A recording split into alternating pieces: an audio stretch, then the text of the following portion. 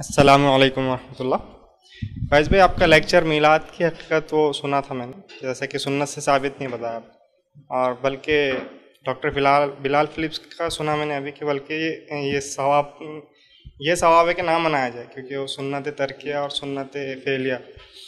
تو جو ثابت کرتے ہیں حضرات کہ یہ منانا چاہیے تو کئی حوالے بھی دیتے اور کیسا تو بھی ثابت کرتے تو تمام حوالے ضعیف ہے کہ یہ سوال کرنا۔ جزاک اللہ خیر۔ میں نے ایک سوال کیا کہ عید میلاد النبی کے تعلق سے جو آج کل منائی جا رہی ہے، پہلے جو بارہ وفات کے نام سے منائی جاتی تھی، اب عید میلاد النبی کے نام سے منائی جاتی ہے۔ تو اس کے تعلق سے جو وہ لوگ دلائل دیتے ہیں، کیا دلائل سبھی ضعیف ہے یا کیا ہے؟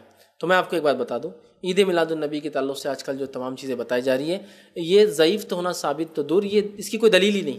ایک ہوتا ہے، جیسا کہ دلیل ہو، صحیح نہیں ہو، لیکن ضعیف ہو۔ یہاں دلیل ہی نہیں، سوائے ان کے عقلی گھوڑے ہیں۔ ٹھیک ہے؟ دلیل نہیں، عقلی گھوڑے۔ جیسے کہ مثال کے طور پر اللہ تعالیٰ نے قرآن کو نازل کیا۔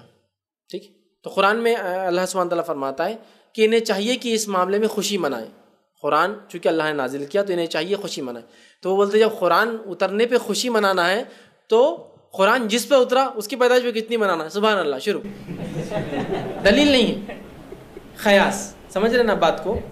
نبی اکرم صلی اللہ علیہ وسلم دنیا میں نہیں آتے، ہم کو ہدایت کا راستہ اللہ ان کے ذریعے نہیں بتاتا، تو ہم کیا کرتے تھے؟ کچھ کر نہیں، تو پھر ان کی پیدائش میں خوشی ہونا چاہیے۔ سبحان اللہ، چلو خوشی مناؤ۔ تو گویا دلیل ہی نہیں ہے، ٹھیک ہے؟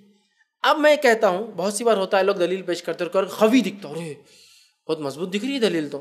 مطلب قرآن سے ثابت کر دے رہے، کوئی کوئی حدیثوں سے ثابت کر دے رہے، ہے نا؟ جیسا کہ ایک ایک صاحب ہے، وہ بہت بڑے اللہ میں اللہ رحم کرے، انہوں نے حدیث سے ثابت کیا کہ ابن عباس بخاری کی روایت ہے، لیکن یہ حدیث نہیں ہے۔ ابن عباس کا خول رضی ابن عباس رضی اللہ فرماتے ہیں کہ میں نے ایک خواب دیکھا اور خواب میں اپنے چچا کو دیکھا، ابو لہب کو۔ تو میں نے پوچھا، چچا، کیا حال ہے؟ یہ نبی کا خواب نہیں ہے، عبداللہ ابن عباس رضی اللہ خواب ہے۔ کیا حال ہے چچا تمہارا؟ کیا ہوا تمہارا؟ خواب کی بات ہو رہی ہے، وہ بھی نبی نہیں، غیر نبی کا خواب۔ کیا ہو رہا ہے؟ جہنم میں کیا ہوا تمہارے ساتھ؟ تو کہا، دنیا میں تو رفاقت نہیں تھا۔ یہاں بھی کوئی ڈھیل نہیں ملی، بہت تکلیف ہو تو کہا، پھر؟ لیکن بولے، ایک دن مجھے ڈھیل مل جاتی ہے۔ تو کہا، کب مل جاتی ہے تمہیں ڈھیل؟ تو کہا، مجھے پیر کے دن ڈھیل دے دی جاتی ہے۔ اس لیے کہ اس دن میں نے نبی اکرم صلی اللہ علیہ وسلم پیدا ہوئے تھے، تو ایک لانڈی کو آزاد کیا تھا۔ تو جو ہے، مجھے ڈھیل دے دی جاتی ہے۔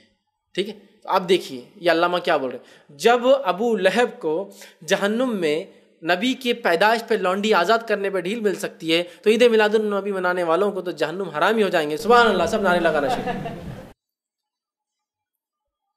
تو یہ سنت نبوی ہے یا سنت لہبی ہے؟ ہم کس کو مانتے کس کی سنت کو مانتے ابو لہب کی سنت کو مانتے اور کیا ہم بھی چاہتے کہ ایک پیر کے دن ہم کو ڈھیل مل جانا خالی بارہ ربی اللہ کے دن اللہ تعالیٰ دیتے جہنم سے آزاد اور باقی تین تین سو چوپن دن کو پھٹ کے پڑے جہنم کے۔ چونکہ ابو لہب کو کیا ہو رہا تھا؟ ایک دن ڈھیل مل رہی تھی۔ کیا بول رہا ہوں خواب میں ابو لہب، عبداللہ ابن عباس کو نبی کا خواب نہیں، غیر نبی کا خواب۔ کیا بول رہا ہے کہ مجھے رفاقہ نہیں ملا ایک دن چھوڑ کر، اس لیے کہ میں نے اپنی ایک لانڈی صوبیا کو آپ کی پیدائش پر آزاد کیا تھا، لہٰذا اس دن ڈھیل ملی تو کیا ہم بھی چاہتے ہیں ابو لہب کے ایک دن ڈھیل ملنا ہم کو؟ تو یہ مختلف چیزیں لوگ پتہ نہیں کہاں سے لا لیتے میرے بھائی، اس کی کوئی حقیقت نہیں ہے۔ اگر کوئی کہے تو میں کہتا ہوں، صحابہ کی زندگی کٹر کا کام کرتی۔ یہ بدتیں جو لاتے نا، صحابہ کو دیکھ۔ محبت رسول کی علامت عید میلاد النبی منانا۔ عشق رسول کی علامت عید میلاد النبی منانا۔ سچے جو ہے نبی کے امتی ہونے کی دلیل عید میلاد النبی جل سے جلائش منانا۔ چلو، یہ بات کو ہم نے مان لیا۔ تو آؤ، صحابہ کی زندگی سے دیکھتے وہ کتنے سچے محب رسول تھے اور کتنے زیادہ متبع تھے۔ کس نے منایا؟ تو آپ منہ بند ہو جاتا۔ صحابہ کی زندگی کو لاؤ۔ ان سے زیادہ نبی کو چاہنے والا دنیا میں نہیں تھا، نہیں ہوگا کوئی اللہ۔ تو بتاؤ انہوں نے کیا منایا؟ نہیں منایا نا۔ تو بس صحابہ کی زندگی دیکھ لو اور اپنے آپ کو مبن کر لو، یہ زیادہ اچھا ہے۔ تو لہٰذا اس کی کوئی ضعیف دلیل نہیں ہے۔ من گھڑت باتوں کو لوگ لا کے منا رہے ہیں اور عید میلاد النبی جو نام دیا گیا، یہ بھی کب وہ آپ سب جانتے ہیں؟ اٹل بہاری واجپئی لکھنؤ سے الیکشن لڑے تھے۔ لکھنؤ کے الیکشن میں دو ایجنڈے مسلمانوں دیے تھے۔ دو چھٹیاں اضافی بڑھائی جائے مسلمانوں کی، دس محرم اور بارہ ربی الاول۔ لہٰذا انہوں نے اس کو وہ کیا، جیت کے آئے۔ جب پی ایم بنے تو انہوں نے دو چھٹیاں اضافہ کی ان کے دور میں۔ تب سے چھٹی ملتی ہے دو ایکسٹرا مسلمانوں کون کون سی ملتی ہے ایکسٹرا ایک پارسیوں کو دی تھی، دو تین ہندوؤں کی بڑھائی تھی اور دو مسلمانوں کی۔ اس میں یہ تھی، بارہ ربی الاول اور دس محرم، اس سے پہلے نہیں تھی۔ اس کو آفیشیل کیا نام دیا جائے بولے پھر؟ تو عید میلاد النبی۔ ورنہ اس سے پہلے بارہ وفات کی چھٹی تھی۔ وہ چھٹی تو تھی نہیں پہلے بہرحال، بعد میں الیکشن میں چھٹی ملنا شروع تو دیکھیے اب اس سے پہلے تو چھٹی بھی نہیں تھی۔ وہ تو یہ عید تھی تو حکومت کو بھی نہیں معلوم، یہ عید تھی مسلمانوں کو بھی نہیں معلوم۔ اب اس کی چھٹی منانے کی وجہ سے ذرا پاپولر ہو گیا ہو۔ ٹھیک ہے؟ تو بہرحال یہ سب منمانی چیزیں ہمیں چاہیے ایسی چیزوں سے احتیاط کریں۔ صحابہ نے جس طرح سے اپنے نبی سے محبت کی، ویسے ہی کرے وہ زیادہ ہمارے لیے بہتر ہے ان